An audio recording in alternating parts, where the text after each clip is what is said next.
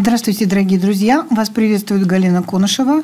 Многие меня спрашивают, когда выйдет вторая серия по расшифровке «День дурака». Да, выйдет вслед. Вот просто сейчас очень занята была подготовкой к экскурсиям, но я человек ответственный, поэтому приоритеты так были расставлены. Надо было найти и сформулировать очень много новой информации. Я такой рудокоп. Я выискиваю эти крупицы в огромных толстых книгах, которые надо тоже просканировать. На все это нужно время. Поэтому вот так не получается, скажем так, быстро и как горячие блинчики выпускать эти фильмы. И сейчас-то я не по чародеям сделаю фильм, не по Дню дурака, а памяти Владимира Вольфовича Жириновского. Он умер не так давно, неординарный человек, политик, Кому-то он нравился, кому-то категорически не нравился. Я скажу свои впечатления. Нет, не оценки, а субъективные впечатления. По моему мнению, Владимир Вольфович подходит под карту шута. Опять-таки, нет Джокера, а шута, дурака в сильном проявлении. Карта дурака – это не то, что дундук тупой, а человек, который идет по жизни, не оглядываясь на препятствия. Как в «Чародеях» – вижу цель, не вижу препятствий. И это один из лозунгов фильма «Чародеи», кстати. Так что, как ни крути, уход Владимира Вольфовича в этот период – момент, который решается судьба наших народов, а может быть всей планеты, всего мира, не случайно. Рассказывать биографию Жириновского я не буду. Все это есть в интернете. Был ли он пророком? Ну, как многие его называют. Нет, не был. Почему многое сбывалось из его речей? Потому что озвучивал планы. Для этого и был поставлен и было дано роскошное житье-бытие и самому себе, и семейному клану. Любил ли Россию? Ну а кто же это может сказать наверняка? Роль любящего Россию играл хорошо. Возможно, сам поверил и проникся, и действительно слишком стал ратовать за русский народ и Россию с трибун, чересчур.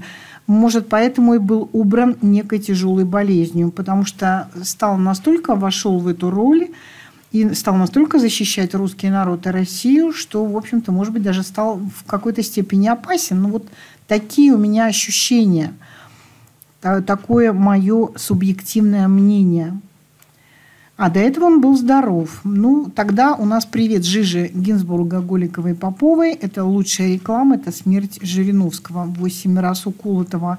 Если это действительно так, что Гинзбург, Попова, Голикова должны нести ответственность за эту тяжелую болезнь и преждевременную смерть Владимира Вольфовича от Жижи. Неужели опять все им сойдет с рук? Ситуация очень серьезная и сложная. Мы видим, что идет подковерная большая борьба, многоуровневая борьба.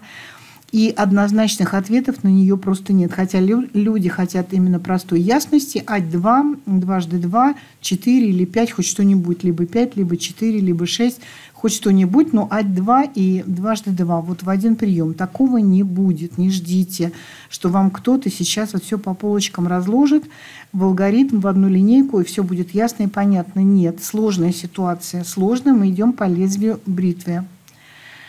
Жириновский в 90-е годы был таким флюгером. Подражал он Дуче.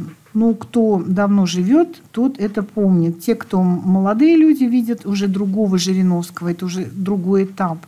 А мы его застали еще в самом, скажем так, его политическом развитии карьеры. И мы уже были в зрелом, ну, в таком в нормальном взрослом возрасте, 30-летнем возрасте, когда все уже помнишь и много чего уже понимаешь. Он подражал Дучи, это внешнее выражение лица. Дучи – итальянский фашистский диктатор, наряду с Гитлером был. Жириновский взял его типаж, ну, не сам он, наверное, взял, хотя у него в лице в чертах лица, безусловно, много схожести есть, на это обращали внимание. Конечно же, это все имиджмейкеры. Это модели поведения, внешние жесты, выпячивание нижней губы, откидывание головы, а постоянно трогал нос, как и он. Когда выступал на публике, копировал почти один в один поведение Дучи. Это все сразу считали зрители телевизоров, так как компьютеров интернета тогда еще не было. В этом нет ничего удивительного. Жириновский такой же проект, как любая звезда эстрады или Голливуда, или звезда-политик, или олигарх. Это проекты. Их готовят имиджмейкеры, толпа клюют и боготворит. Особенно если человек сам харизмой обладает. Ну, таких именно и подбирают. Но это на короткий срок. А потом та же толпа, она распнет и не подумает. Дучи, например, повесили вниз головой, как в картах Таро, карта повешенного, именно вниз головой. А Жириновского любили многие и совершенно искренне любили. Впоследствии он становится самим собой Владимир Вольфович. Ну, как бы самим собой ему уже не нужно отыгрывать, потому что он уже набрал популярность, его уже знают. Это личность, это имя, которое работает на него самого. Многие отработанные заочные жесты так и остались. Это выпечивание нижней губы и постоянно трогать нос. Актерский дар, безусловно, есть и талант, как и актерское тщеславие. Без этого публичных людей нет. Конечно, Жириновский был тщеславным человеком. Но в этом, опять-таки, нет ничего плохого. Любой публичный человек, он должен обладать тщеславием, иначе он просто ну, ничего не сделает. Если он слишком скромный, как э, говорили у нас в 90-е годы в шоу-бизнесе, что скромность – это быстрый путь к забвению. Ну, скромность раньше украшала человека, а для эстрадных людей, публичных, скромным, вот совсем скромным быть нельзя. Надо уметь преодолевать свой страх, уметь публично выступать. И, конечно, за всем этим стоит большая-большая работа. Кстати, у него были прекрасно подобраны костюмы, галстуки. На это тоже многие обращали внимание. Он этим привлекал к себе внимание. Это тоже был один из а, пунктов его работы, то есть имиджмейкеров. Это все, все работало на имидж Владимира Вольфовича. Владимир Вольфович, это было досадно многим, кто за него голосовал в 1996 году, отдал неожиданно для лектората свои голоса Ельцину, как и генерал Лебедь. Поэтому Ельцин и прошел во второй тур, иначе бы он вообще никогда никуда не, не прошел и никуда бы не попал. Вот это когда было «голосуй» или «проиграешь», это был бренд. Вот когда Ельцин пьяный танцевал на эстраде есть это видео везде, оно крутится. Показывать не могу, иначе YouTube меня забанит как авторское видео. Поэтому ничего из этих съемок показывать ну, конкретно здесь нельзя. YouTube лютует очень сильно. Пока это у нас на сегодняшний момент одна из самых удобных площадок остается. Надо отдать ему должное. И вот тогда в 90-е 90 годы он ассоциировался криминальным капиталом и находился в его окружении или приближаться к нему было вот тогда в артистической среде небезопасно. Так это ощущалось. И у меня есть свой случай 95 -го года. Я вам сейчас о нем расскажу. Кремлевский дворец съездов 15 февраля 95 -го года, день вывода советских войск из Афганистана. И тогда проходили ежегодные концерты – Кремлевском дворце или в Лужниках, или еще где-то, или в концертном зале России. Вот, как правило, на трех этих точках. И э, меня режиссер знал меня и меня постоянно, регулярно приглашал на эти концерты. В зале тогда были представители того периода власти, много военных был, было, был, конечно, а, министр обороны Грачев был, Русской был, много военных генералов и их жены, политики с женами. После концерта был банкет. Зрители располагались на банкете в актовом зале перед зрительским залом, а артисты на балконе. Был такой балкон, и артисты там нам столы с яствами приготовили. Тогда еще там Любе был. Любе, они там за другим столом сидели, а у нас свой был. Своя тусовочка была. Итак, мы могли сверху наблюдать за банкетом генералов и политиков. Был там и Жириновский, очень популярный и неоднозначный. Когда все выпили, закусили, стали разговаривать друг с другом, говорить в микрофон какие-то речи, которые никто не слушал, стоял общий шум уже жующей застольной толпы. Тогда уже шла первая чеченская кампания, 94-96 год она закончилась, это 95 год был – какой-то офицер-афганец, десантник, весь в наградах, подошел к микрофону, стал говорить о том, сколько погибло в Афганистане, сколько гибнет ребят в Чечне, что надо беречь мир, но его никто не слушал совершенно. Мне это врезалось в память тем, что тому, кто там был, это было совершенно фиолетово, так ощущалось со стороны, вот с балкона. Он говорил сам для себя. Там подошло несколько человек, его слушало человека 3-4, а весь этот банкет они там ели, пили, разговаривали громко, ну, как обычно. Фуршет такой там был. Вот этот банкет гудел характерно в самом разгаре. Я вижу Жириновского с его помощниками. У меня с собой был фотоаппарат, мыльница, кодек.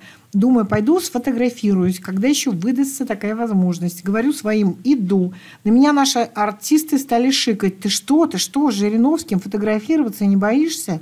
Нет, говорю, интересно даже. И пошла. Подхожу, он стоял спиной, высокий, что-то брал со стола, ел какой-то бутерброд – Рюмка у него была в руке, ну, стаканчик. Меня его помощник хотел оттеснить, но Владимир Вольфович в этот момент повернулся. Лицо было раскрасневшимся, только что речь говорил, улыбался, а мне хотелось посмотреть ему в глаза. В глазах многое можно увидеть и понять. Посмотрела ему в глаза, и за этой маской, вот такой бравадой, увидела уставшего человека. Или душу, не знаю не стыковалось внешний вид, вот то, что мы о нем знали, как мы его видели по телевизору, вот его маска, да, его роль, его активность, речистость, напористость, хамство и выражение в глазах в тот момент не стыковались. Может быть, это просто день такой выдался, может, еще что-то, но там внутри усталость была от игры. Так мне увиделось тогда, читалось информационного поля. Я спросила, вот ваш помощник отодвигает меня, а я хочу с вами сфотографироваться. Он говорит, а мы сейчас этого помощника отодвинем. Ты что тут мешаешься? Возьми лучше фотоаппарат и сфотографируй нас. Ну, тот заулыбался услужливо, взял мой кодек и сфотографировал нас. Я поблагодарила Владимира Вольфовича, вернулась, что-то ему там даже сказала – вернулась к нашим артистам. Они стали расспрашивать, ну как, ну как? Кто-то тоже побежал фотографироваться с ним, раз со мной ничего не произошло, никакого скандала, казуса. Ну и у них все обошлось. И это фото с того самого банкета. И еще был один случай. Спустя лет пять пригласил меня один журналист на тусовку «Светский лев». Было такое мероприятие, шоу-программу снимали – развлекательной программой. Ну, тогда вообще было телевидение очень мусорное. Чего там только не было. Запад, Запад весь, все это современное. Хотел мне помочь этот журналист. Проводилась съемки, концерт, передачи в казино, кажется, «Золотой Пегас» или «Золотой Колос», я не помню. Казино, ночной клуб, одним словом, где-то там за вокзалом, за белорусским вокзалом, за улицей Правды – кстати, разберем по ходу слово «казино». Вот нам пишут, происходит от итальянского «казино», «домик», уменьшенное от «хаза», «дом», далее от «хаза» «хижина», «лачуга», далее из неустановленной формы сравнивают с проиндоевропейским «кат», «хижина», «сарай», «загородка», с проиндоевропейским «кэт», «навес», «хижина», «сарай». Русское казино заимствовано через французское «казино», каза, хаза, лачуга от индоевропейского. Да что не сказать просто, от малорусского, старорусского, южного наречия хата. Ну это же явно, ну хата, хаос, хата. Это же это слово занесло в Европу и вернулось к нам видоизмененное. Так вот, как изменились времена. Сейчас и картинок тоже нет в интернете почти. Вот я искала сейчас картинки, думаю, может быть, с тех казино что-то найду. А ведь вся Москва была забита этими казино. Крутили, воротили деньги. Причем деньги эти были дармовые, да, вот они с неба им падали. И они чего только не вытворяли с этими деньгами. Как они только с ума не сходили от этих денег. Народ голодал, умирал, а, разрушалась вся экономика, а они кутили. Ну, вот это был этот разврат, этот жуткий. И выживали, конечно, артисты. Конечно, они старались где-то как-то пристроиться вот туда, вот, вот попасть в эти круги, потому что только там и были деньги, только там и можно было чего-то как-то заработать на жизнь. Так вот, в тех далеких нулевых собралась тусня того времени, все те, кто в телевизоре, одним словом, и действительно там были и талантливые люди, ну да, не вопрос, были талантливые мастера и артисты, ну и всякая шушера, как водится, содержанки и содержанты. Были как заслуженные артисты, СССР еще режиссеры были. Был там Кобзон, Говорухин, Бисер Киров, болгарский певец. Был музыкант-гитарист Виктор Зинчук. Были на тот момент популярные ансамбли, юмористы разные, киноартисты. Ну, короче, звезды того времени. Любовь Полищук мне запомнилась, очень красивая была. Был там и Владимир Вольфович – из политиков, кстати, он один там был. К сожалению, не дали мне пронести мой фотик, обыскали прям по-серьезному, а жаль. Эпоха целая. Однако я бы для истории запечатлила. Посадил меня этот журналист за столик, э, ну, чтобы я там, может быть, с кем-то познакомилась. Вообще с Кобзоном надо было познакомиться. Да, и я там с ним познакомилась реально с Кобзоном, там тоже отдельная история.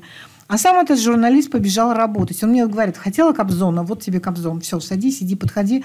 Периодически бегал, подходил. Он что, подошла, подошла, сказала. Я говорю, нет, я боюсь сесть, я стесняюсь. Нет, говорит, иди и давай, давай, смелее. Потому что он был занят работой. Ему надо было их фотографировать для газеты этих знаменитостей. Ну вот, а я наблюдала прям как героиня романа «Театр». Вот прям заворожила меня эта обстановка – вот героиня театра Сомерсета Моэма Джулия Ламберт. Вот это театр был, я вам скажу. Все эти знаменитости, я была вообще в шоке. Вот. Все эти знаменитости ходили, не поворачивая головы, но косили глазами. Где журналисты, снимают ли их? Ревновали, если кого снимают больше. Я поймала себя на мысли, что они все как куклы восковые, даже как будто они мертвые. Вот неживые люди, мертвые лица от грима, желтые, свет такой еще падает. Жизни в глазах нет, и лишь два человека выделялись жизнью, вот жизненной энергией, жизненной силой на фоне всей этой тусовки. Это Зинчук и Жириновский. Вот они реально там были живые, естественные. Вот такие мои впечатления остались от того вечера. Да, еще прекрасно выступила, спела Ирина Понаровская. Запомнилась мне одна из всего концерта. Так вот, что произошло? Они, все эти люди, светились на экране, не сходили с полос газет, выступали на всех правительственных концертах. И вот прошло время, многих уже нет на земле, а те, кто есть, Бог знает, как существуют, никому уже особо не интересны. Все мишура, все фальшивые декорации. Прям Сомерсет Мэм, классический. Цитата. «Джулия протянула руку к большому залу. Там притушили огни, и с ее места он еще больше напоминал подмостки, где разыгрывалось представление. Весь мир театр, в нем женщины, мужчины, все актеры. Но то, что я вижу через эту арку, всего-навсего иллюзия – Лишь мы, артисты, реально в этом мире. Вот что я скажу Роджеру. Все люди – наше сырье. Мы вносим смысл в их существование. Мы берем их глупые, мелкие чувства и преобразуем их в произведение искусства. Мы создаем из них красоту, их жизненное назначение – быть зрителями, которые нужны нам для самовыражения. Но это Маэм. Артисты светских полукриминальных нулевых такие же тени в театре жизни. Ну, наверное, впрочем, как и всем мы. И решила я сделать этот рассказ в память о Владимире Вольфовиче отдельным роликом, а разбор фильма «Чародея» отдельно, так что вторая э, серия «День дурака» по расшифровке фильма «Чародей» следующим пойдет. Благодарю за внимание. С вами была Галина Конышева. Подписывайтесь на все мои каналы, телеграм-канал. Ссылки будут в описании.